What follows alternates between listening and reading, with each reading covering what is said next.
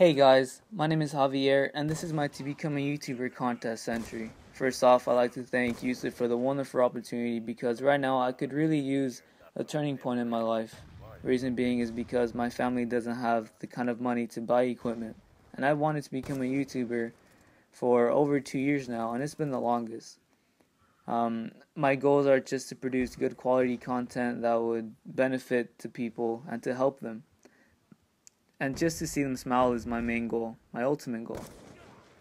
As I was growing up, I always was being bullied, but I don't want that to be too much in depth about how my life has been so far.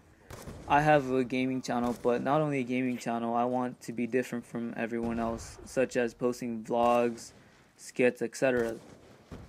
I need this equipment because my family isn't a high income family and they have to pay for our schools.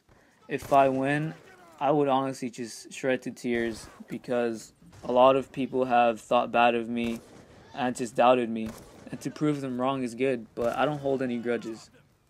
With becoming a YouTuber, I would also hopefully do the same by giving someone the same opportunity right now.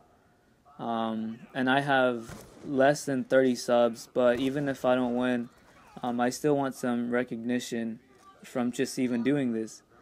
I would do a face cam right now, but I don't have a camera or a good quality mic, and I use this um, old iPhone as a mic. Doing something that I'm passionate and I love to do is something that I just don't want to see go to waste.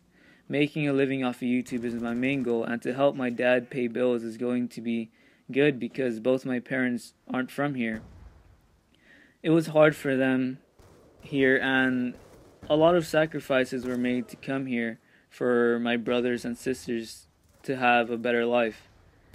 And I want to repay that to them. Connecting with others is great, and it would just create a bond with uh, my subscribers.